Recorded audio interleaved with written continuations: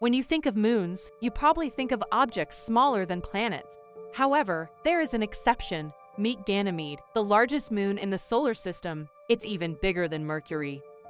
Ganymede's crust is primarily composed of water ice, likely covering an icy mantle, rocky mantle, and metallic core. Scientists also suggest a subsurface ocean of salty water exists between the icy crust and mantle.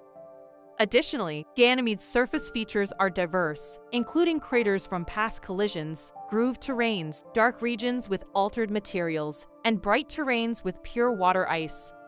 In addition, Ganymede is the only moon in the solar system known to have its own magnetic field. It is thought to be generated by its subsurface ocean. Finally, just like other moons with subsurface oceans, Ganymede may harbor conditions conducive to life, making it a key target for astrobiologists. Subscribe for more glimpses into the cosmos.